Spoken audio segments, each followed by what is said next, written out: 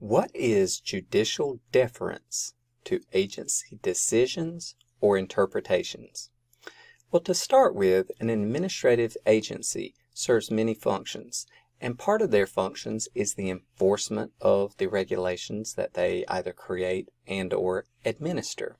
Now, part of that process often means that the agency has to undertake a quasi-judicial function in determining how the regulations apply to someone. In these cases, oftentimes there's a decision involving the rights of someone, and these decisions are appealed up to the head of the administrative agency. But if the decision does not come out in favor of the party seeking the seeking to enforce its rights or seeking a favorable action by the administrative agency, they can challenge this decision in an Article 3 court. So what we need to determine is how will the Article 3 court review the decisions and legal interpretations made by the administrative agency during this process? So the answer to this question is rather long because it depends upon a number of factors. One, what is being reviewed? Are there questions of fact, questions of procedure, or questions of law? Because remember, on appeal, what a court is doing. And in this case, it may be the trial court that is reviewing an administrative decision on appeal. But what the court is doing on appeal is making certain that the law was applied correctly and that there were no misapplications or abuses of the law or standards applicable. With that being said, if the judiciary is going to review a determination of facts made by the administrative court, then it will look to see were there any clearly erroneous assumptions made by the court when interpreting the facts. Absent a clearly erroneous interpretation of the facts or an arbitrary and capricious decision that is a whimsical, unsubstantiated decision. We use the term arbitrary and capricious decision based upon the facts that were present, then the court will not disturb that decision when it comes to a question of fact involved in the matter. Now, if the party challenging the agency's decision says, okay, there was a matter of procedure or discretion within the agency that was wrong, not legal. What the court will do is review to see whether the the administrative agency abused the discretion that was particularly granted to it in an enabling statute by Congress.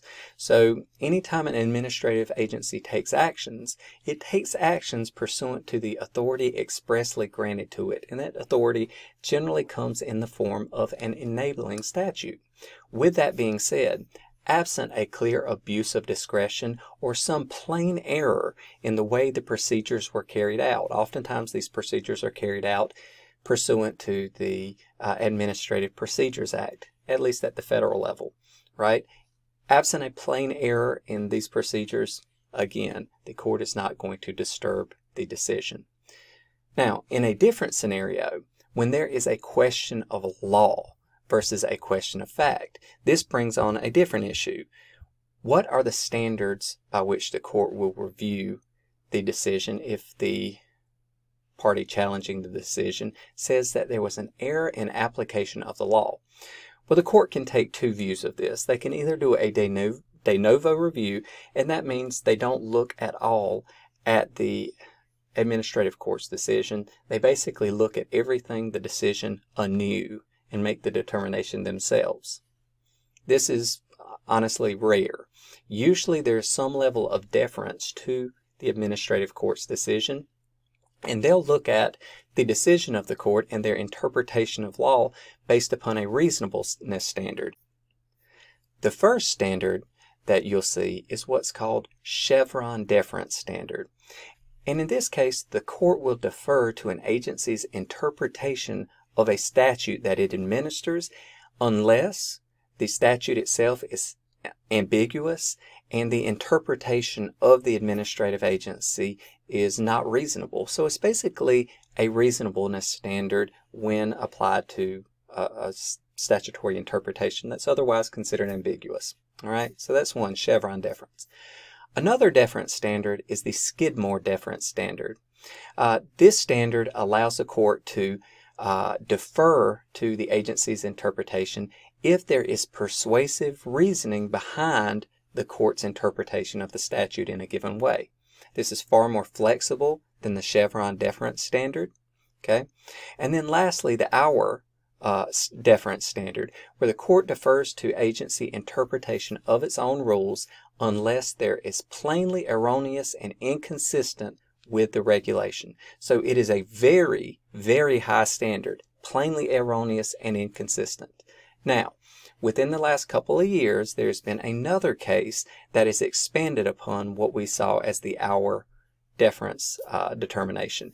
That's the Kisor versus Wilkie case. And in that case, the U.S. Supreme Court said that it will not defer to the uh, agency's interpretation of law if the law itself is legitimately is legitimately ambiguous and the interpretation was not reasonable. So what you're looking for is to determine, determine whether there was ambiguity consistent with the Chevron deference standard and whether the interpretation was again reasonable. So it looks like again you're leaning back towards the Chevron deference standard there. And the way these receive their name is pursuant to the name of the case when it came up on appeal before the Supreme Court. So in summary, there are numerous standards applicable that the court will employ when determining whether to alter an administrative court's decision based upon whether it's a matter of fact, a matter of procedure, or a matter of law that is being challenged.